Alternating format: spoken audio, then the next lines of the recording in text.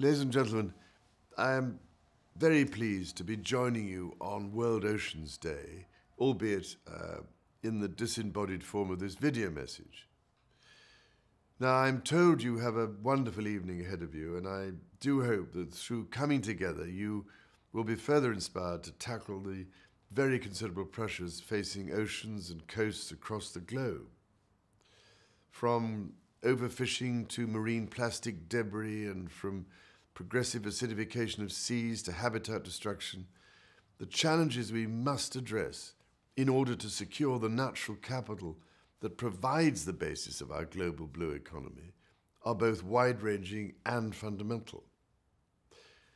But while we have an ever stronger uh, body of evidence to highlight the pressing nature of these questions, it seems to me that we must also continue to win hearts as well as minds. And nowhere is it more important to do this than within those communities whose very future prosperity is inextricably linked with the viability of our oceans and seas. Many of these communities live within the Commonwealth. Over half uh, of Commonwealth countries are island states, for example. And together, Commonwealth countries have around half of the world's economic exclusion zones within their jurisdiction.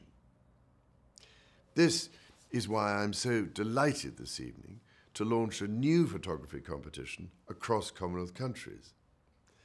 Good pictures can tell stories in ways that words sometimes cannot.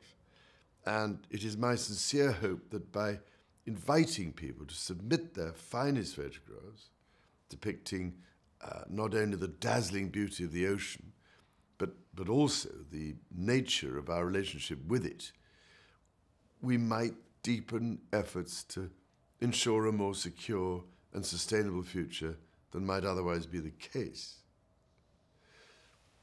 Now, I am especially hopeful to see participation from young people as their future, particularly those from uh, island nations and coastal states, will be principally determined by the fate of the oceans. The world needs to hear their stories, and perhaps by seeing their perspective in pictures, uh, those with the means to act are more likely to do so. The details of the competition are being released this evening, and I do hope that many of you will consider supporting it.